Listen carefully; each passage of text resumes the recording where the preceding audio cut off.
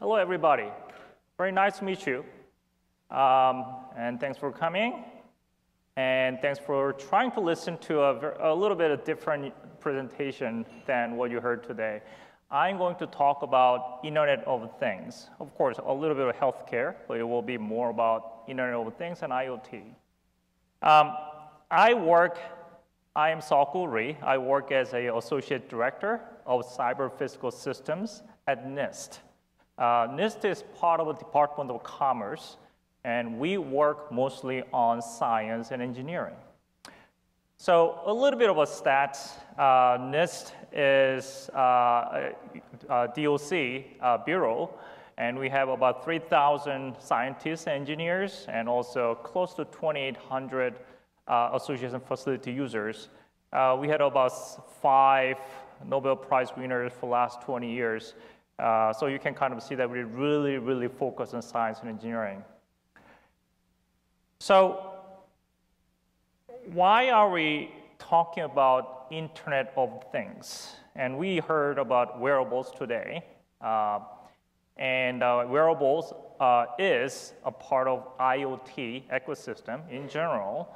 But it's a bigger picture. Uh, we call this cyber physical systems. So by the way, cyber physical systems is nothing more than IoT, Internet of Things. Cyber means connectivity, is internet.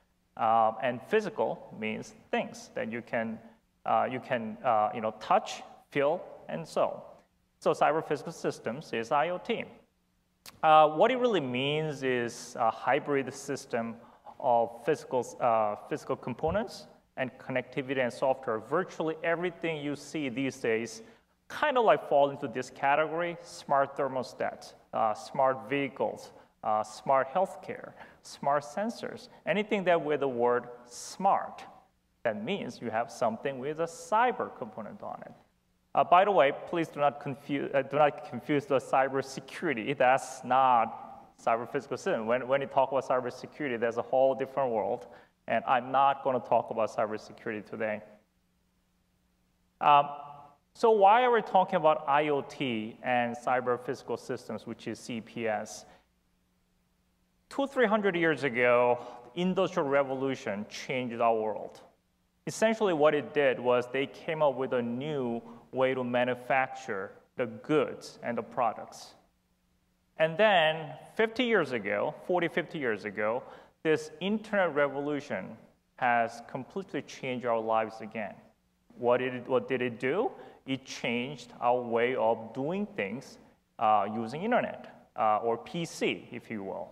For example, we didn't have to keep our logbooks anymore. Uh, you have Excel spreadsheet, which does a beautiful job.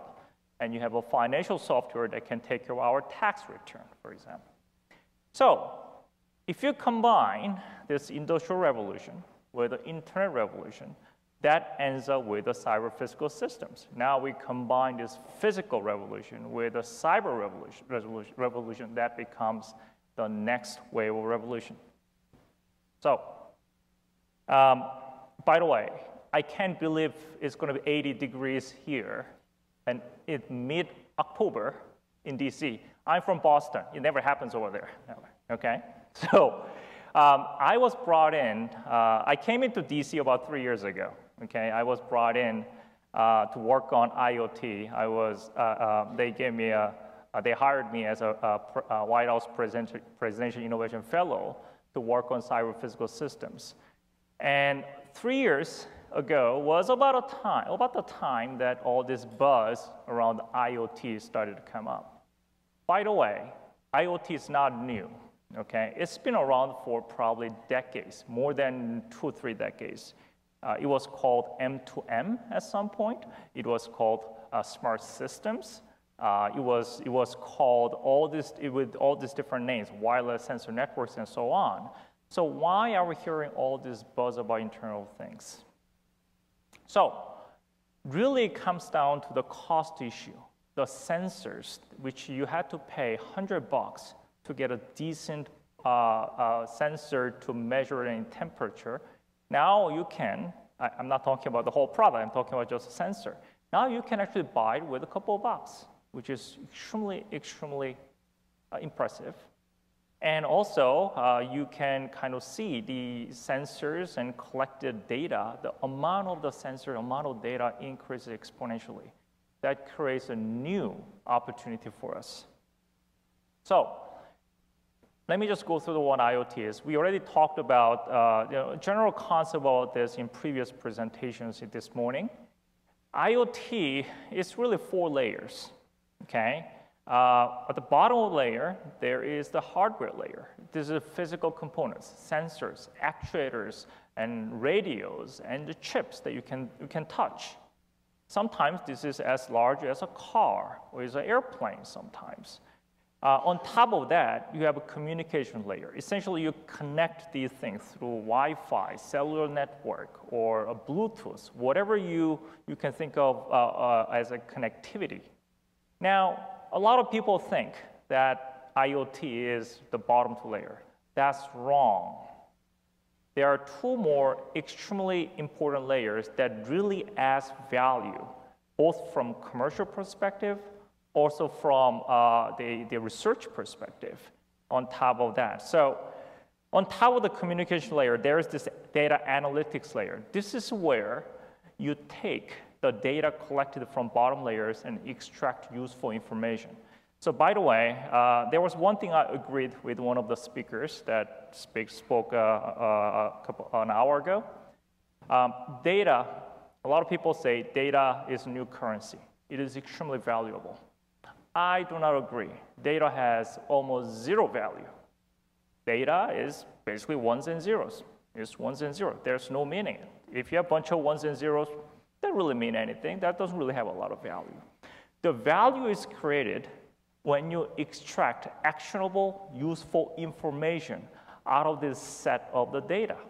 And that's where data analytics comes in. That's where the real value and business value is created. Okay?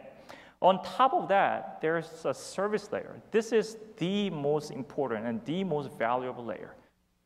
This layer makes a decision Based on the information you collected through all these sensors, wearables, and all these things, you have to make a decision on what to do with it. It's not just a visualization, it's a, you have to take an action. When you take an action, that's where the 90%, personally think, more than 90% of the value of IoT ecosystem is realized. So if you look at the information flow, it's not just the monitoring, actually it's also taking action, meaning that you are coming back, closing the loop. I'll give you one example. Um, about 16, 17 years ago, uh, at MIT, uh, they developed something called a ring sensor. This is a great idea. It's a finger ring, essentially. You have batteries, you have a CPU, you have a wireless, you have a, a optical sensors. Essentially, it detects vital signs, uh, you know, heart rate and uh, oxygen saturation and blood pressure in a finger ring. And you carry 24 hours. Wherever you go, if there's any problem, seems to be a problem, then you get alerted. So that was back in 2000. Great job, right? Um, so you may ask question, that's a great idea. I want to give it to my fiance for my engagement ring. Why cannot, why can I buy it from uh, Tiffany, right?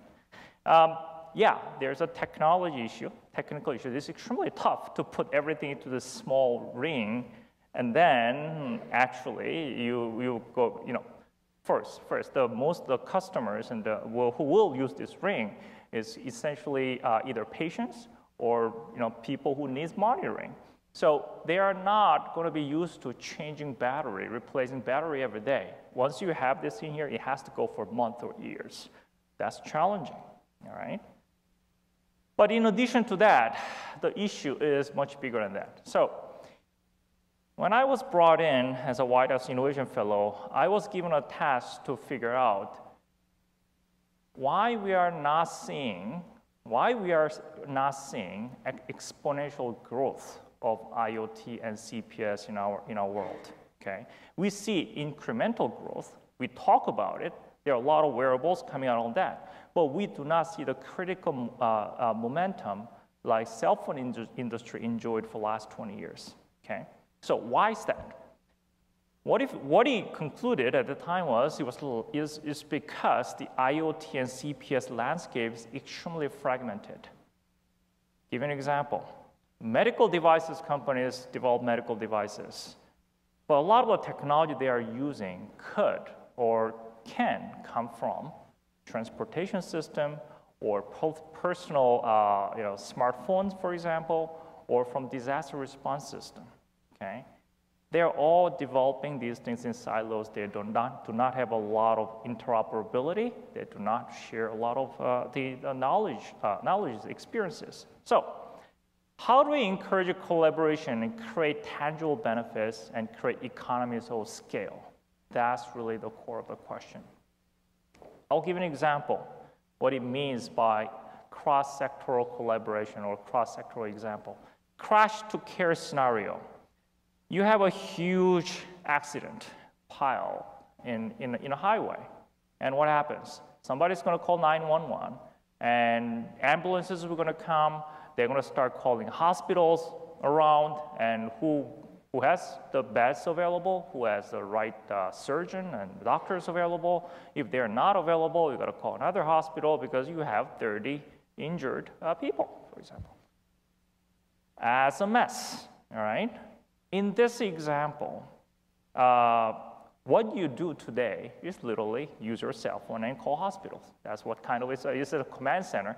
This was an example in Boston Marathon incidents a few years ago and they did a heroic job to take care of the situation with a given, with a given limitations and systems.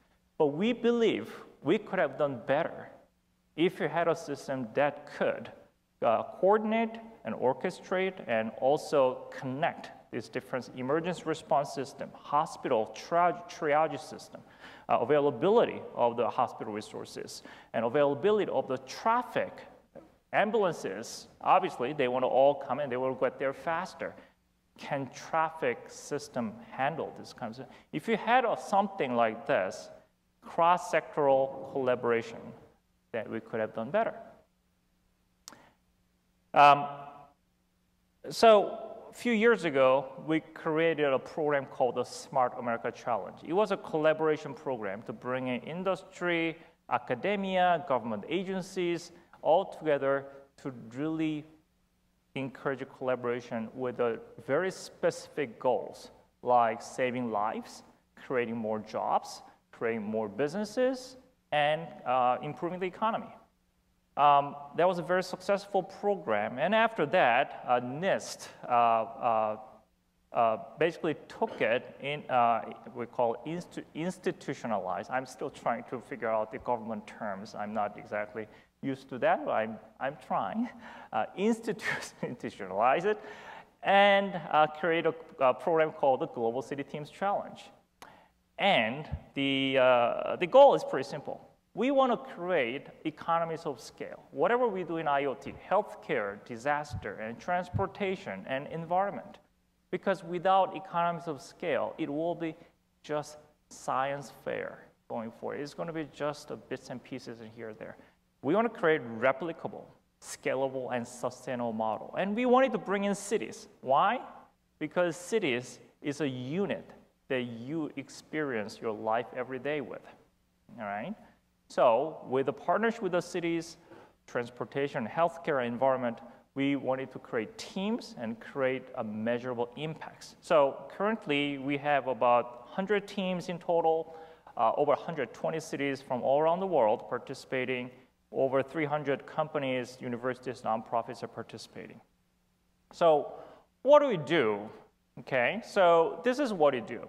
Uh, this is actually a smart city, uh, a capacity building program, but healthcare is an extremely important part of it.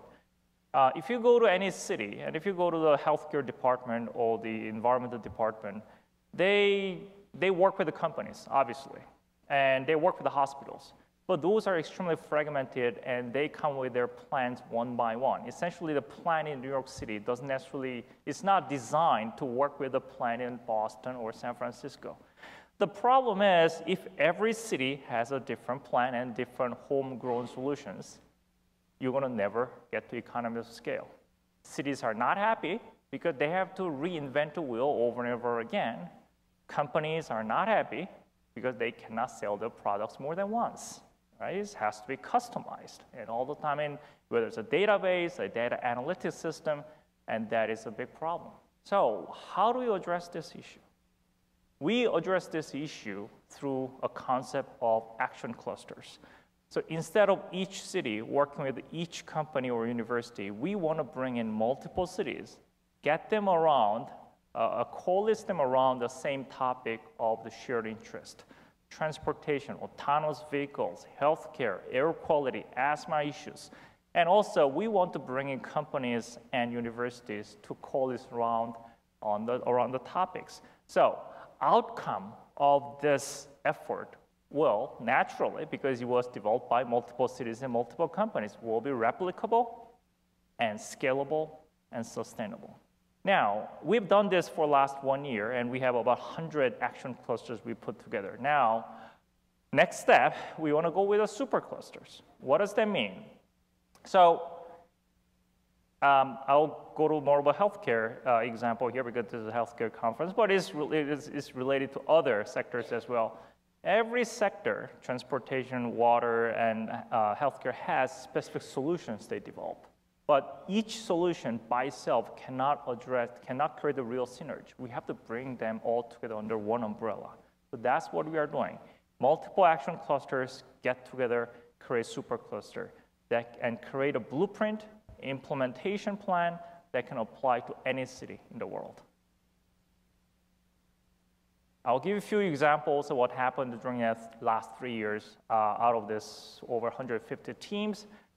Closed loop healthcare, that's a, that's a Mass General Hospital collaboration, collaborating with a bunch of companies and universities as well. Uh, essentially, this is an example that was also addressed in a previous presentation. There is a data set that you collect uh, in your home. I mean, you have a home healthcare system. When you have a heart attack, uh, you are brought into the hospital and ambulances, and the hospital go through all these tests again. I mean, you, they put your EKG and they put you all kinds of uh, you know, tests again. If you had an access to the data set that you already collected for last three years at home, wouldn't it be great that you can figure things out a lot easier then you have to go through all these tests from the beginning one more time. So that's the concept. How do you actually try to coordinate different, uh, the home healthcare system to different hospital healthcare system? Um, bottom left, this is uh, emergency neurological life support. This is really about the crash care, uh, crash to care scenario I talked about. Scale project uh, on, on, on the top right, that's Montgomery County, uh, installing fall detection sensors to, uh, into uh, a senior living facility so that, oh, by the way, uh, you probably know this, hundreds of people die every year in the United States uh, because they just fall on the ground. It's not because they are sick, they just fall on the ground, they cannot get up. They don't have a, a muscle and strength to get up. Just stay there, well, they fall there, down there, stay there for three days, they die, okay? And simple fall sensor, detection sensors can solve the problem. If you can detect it, send the uh, emergency signal to the emergency department so they can check, check that out. Um, I don't have a lot of time left, so I came too far here. So uh, we cannot do this. I cannot do this by, ourselves, by myself. We do it with the partnerships with all these departments, uh, National Science Foundation, ITA, GSA, uh, state and transportation, all these departments work together. Also companies, all the companies that work on IoT in general work together. Also, this is international and global activity. Uh, one thing I want to really make sure we understand is we cannot, when I say we, the US cannot do this by ourselves. And it's not right that we do it by ourselves because whatever we come up with may not work in Europe, may not work in Asia. Then there's no economies of scale. So we have to do it globally. Um, we go through this process, and the way we do matchmaking and these things is by bringing them to an event. Uh, and it's one of the mechanisms. Uh, next week, Tuesday and uh, Wednesday, we are going to have a uh, GCTC Global City Teams Challenge kickoff uh, super cluster conference uh, in the Grand Hyatt Hotel, Washington, D.C. over here. So if you, any of you are interested uh, in healthcare, we are going to have a separate healthcare session on it. Uh, please come and join. That's